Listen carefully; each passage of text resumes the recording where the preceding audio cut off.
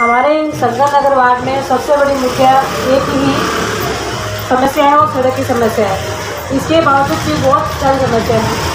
संगम नगर में स्थित श्री राम मंदिर, उद्यान पंडित दीन दयाल उद्यान मानिकर्णिका मुक्तिधाम उद्यान में ओपन जिम हेतु काफ़ी समय पूर्व लिखित में जानकारी दी गई थी, जो आज ये कार्य लंबित है। कौनी पसारी के अंतर्गत शंकर नगर चौपाटी में फूट कर व्यापारियों को स्थापित करना था, लेकिन आज दो वर्षों में ये कार्य पूर्ण नहीं हुआ है। छोटी मोटी समस्याएँ भी है, लेकिन अभी वर्तमान समय में सड़क की स्थिति बहुत जर्जर उठ चुकी है। सीनियर सिटीजन जब यहाँ से निकलते हैं, उनको बहुत तकलीफ़ होती है। गड्ढे बहुत ज़्यादा है, कई लोग गड्ढों में गिरते भी हैं। राजीव अग्रवाल जी उपस्थित है, मैं उनको बताना चाहता हूँ कि कम से कम ढाई करोड़ से ज़्यादा का संपत्ति कर ये शंकर नगर वार्ड नगर निगम को भुगतान करता है ढाई करोड़ से ज़्यादा का। और वार्ड के अंतर्गत ऐसे नागरिक हैं जो फ़ोन करके पूछते हैं कि जल्दी भुगतान करेंगे तो कितनी छूट मिलेगी। ऐसे कर्मठ नागरिक हमारे वार्ड में हैं जो संपत्ति कर के लिए हमेशा जागरूक रहते हैं। फिर भी हमारे वार्ड की सड़कों को दरकिनार किया जा रहा है। मैं आग्रह करता हूँ कि हमारी वार्ड की सड़कों को शीघ्र अति शीघ्र बनाया जाए। अन्यथा ऐसे आंदोलन हम लगातार करते रहेंगे और इस कांग्रेस की सरकार की जड़ हिला देंगे। मुर्दाबाद! मुर्दाबाद मुर्दाबाद!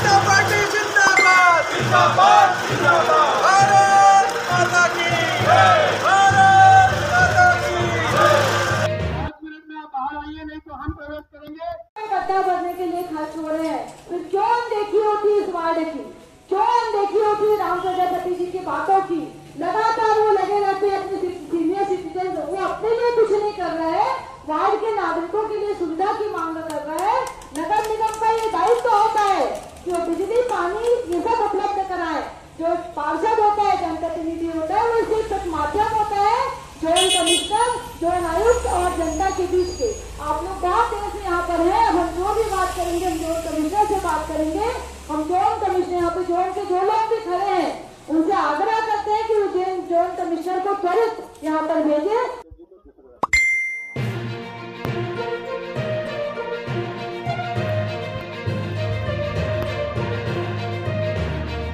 हमारे शंकर नगर वार्ड के अंतर्गत हमारे वार्ड के नागरिकगण एवं वरिष्ठ भाजपा कार्य, भाजपा नेता और हमारे पार्षद दीदी सब हम मिल के आज जोन का घेराव किए। हम सब अपनी मांगों को रखे और जितनी भी समस्या और विकास के कार्य ठप पड़े, उनको लेकर उनको ज्ञापन दिया, उन्हें बताया, आज उनको जागृत किया देवटनी ग्यारस को। उन्हें बताया कि हमारे वार्ड में ये समस्या है, विकास के कार्य करने हैं, उनको एक महीने का टाइम दिया गया है, अगर एक महीने में बताएँगे नहीं तो हम लोग सब बैठ के फिर बात करेंगे। धन्यवाद। देखिए, शंकर नगर वार्ड एक ऐसा वार्ड है जहाँ पर हाउसिंग बोर्ड की कॉलोनी भी है और सभी शिक्षित वर्ग के लोग यहाँ पर रहते हैं, बुद्धिजीवी वर्ग के लोग यहाँ रहते हैं। इस वार्ड के अंतर्गत आज प्रत्येक सड़क पे गड्ढा है और लोगों का चलना दुभर है।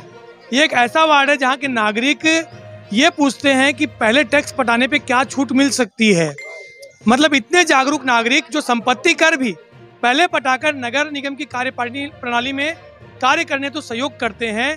करीबन ढाई से पौने तीन करोड़ रुपए का प्रति वर्ष यहाँ से हमारे नागरिकगण संपत्ति कर का भुगतान करते हैं। लेकिन हमारे नागरिकगण आज खराब सड़कों को लेकर त्रस्त हैं। नगर निगम का ध्यान, भूपेश बघेल की सरकार का ध्यान बिल्कुल भी हमारे वार्ड पर नहीं है। सभी पड़ोसी वार्डों में डामरीकरण हो चुका है। सभी पड़ोसी वार्डों में डामरीकरण तब हो रहा है जब अमृत का काम बाद में हो रहा है। हमारे वार्ड में तो अमृत मिशन का कार्य पंचानवे से सौ प्रतिशत के लगभग पूर्ण हो गया। उसके पश्चात भी हमारे वार्ड में डामरीकरण नहीं हो रहा है। चाहे न्यू शांति नगर हो, चाहे सेक्टर वन हो, चाहे सेक्टर टू हो, चाहे गोरखापारा हो, चाहे शक्ति नगर से हम जोन की तरफ़ आ रहे हो, चाहे पंडित रविशंकर शुक्ल उद्यान से जोन की तरफ़ जा रहे हो कहीं पर भी हमारे वार्ड में डामरीकरण नहीं हो रहा है, जबकि कांग्रेस वार्डों में जहाँ कांग्रेस के पार्षद हैं, वहाँ पर सरकार ध्यान दे देकर गड्ढे भर रही है। ये भेदभाव करना, ये कांग्रेस की सरकार बंद करे। एक को माँ का प्यार और एक को मौसी का प्यार देना, ये कांग्रेस सरकार बंद करे। हम भारतीय जनता पार्टी के कार्यकर्तागण लगातार अपनी मांगों को लेकर सरकार के पास जा रहे हैं। हमने ताम्रध्वज साहू जी को, नगरीय प्रशासन मंत्री शिव डहरिया जी को भी पत्र लिखा। पत्र के माध्यम से उन्होंने वापस हमको पत्राचार किया और कहा कि इस वार्ड की सड़कों को बनाया जाए, लेकिन हम अप्रैल में देते हैं, लिख के और यहाँ, वहाँ पर सितंबर में प्रस्ताव भेजते हैं। लगातार हमारे कामों को रोका जा रहा है, हमारे वार्ड में विकास नहीं किया जा रहा है। हमारी नेता प्रतिपक्ष मिनल चौबे जी यहाँ उपस्थित हुई, पूर्व पार्षद संजय श्रीवास्तव जी उपस्थित हुए, पूर्व विधायक सीचन सुंदानी जी, मंडल अनूप खेलकर जी, पार्षद सुमन प्रजापति जी, हम सभी ने मिलकर आज यहाँ पर ज्ञापन दिया है। और एक महीने के अंदर अगर ये लोग हमारे वार्डों का विकास कार्य नहीं करेंगे, हमारे वार्ड में निवासित लोगों को पट्टा नहीं देंगे तो हम एक बड़ा आंदोलन करेंगे। हमारे नेता प्रतिपक्ष मीनल चौबे जी और पार्षद सुमन प्रजापति के नेतृत्व में एक उग्र आंदोलन करेंगे। आज जनता ने यहाँ पर मिलकर एक प्रदर्शन किया है, धरना प्रदर्शन किया है। एक और जहाँ महापौर जी दावे करते हैं कि वे दलगत राजनीति से उठकर काम करते हैं, मगर प्रत्यक्ष को प्रमाण की ज़रूरत नहीं है। आसपास के वार्ड, जहाँ पे कांग्रेस के पार्षद है, वहाँ पर भरपूर विकास कार्य हो रहा है और हमारे राम प्रजापति के वार्डों की स्थिति अत्यंत खराब है, जिसका आज हमने स्वयं मौके पर मुआयना किया है।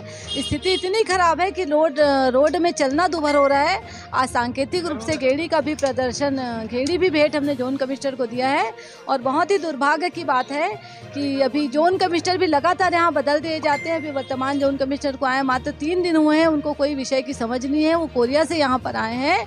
महापौर जी ने जो स्वयं सामान्य सभा में भरी सामान्य सभा में जो घोषणा की थी दस लाख रुपए की, वो भी इस वार्ड को प्राप्त नहीं हो पाए हैं। इन्हीं सब विषयों को लेकर आज हम राम प्रजापति जी के साथ और स्थानीय नागरिकों के साथ यहाँ पर जोन कार्यालय का घेराव किए हैं और अल्टीमेटम दिए हैं जोन कमिश्नर जी को कि एक महीने के अंदर, हम उनको समय दे रहे हैं कि एक महीने के अंदर वो वार्डों की समस्याओं से भली भांति रूबरू हों और अपने कक्ष से निकलकर वो वार्ड में घूमें और वार्ड की स्थिति देखकर, वार्ड की स्थिति सुधारने का प्रयास करें।